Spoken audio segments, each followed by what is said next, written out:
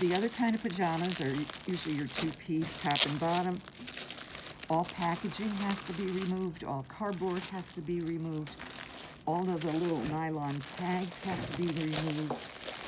If you see these large, they're about six-inch tags that are yellow or light blue, and they tell you the pajamas need to be snug fitting, those are either cut off or pulled off.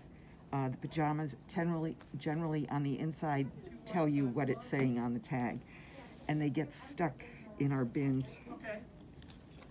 if we don't take them off. But we keep these price tags on. We always keep price tags on except for clearance. We remove clearance, but original price tags are good to go. So you spread out your shirt. Undo your pants. I don't fold them quite in half, and I'll show you why when we get to the end. You put the folded part up to support the neck, neckline. Again, fold this over.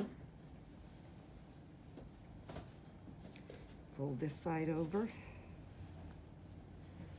And because we didn't bring the pants all the way down to the end, it gives us a little uh, flimsy area here, which makes it easier right here to do your next fold. And again, you fold it across the collar line. And we do that because if we don't, the legs tend to fall out the sides.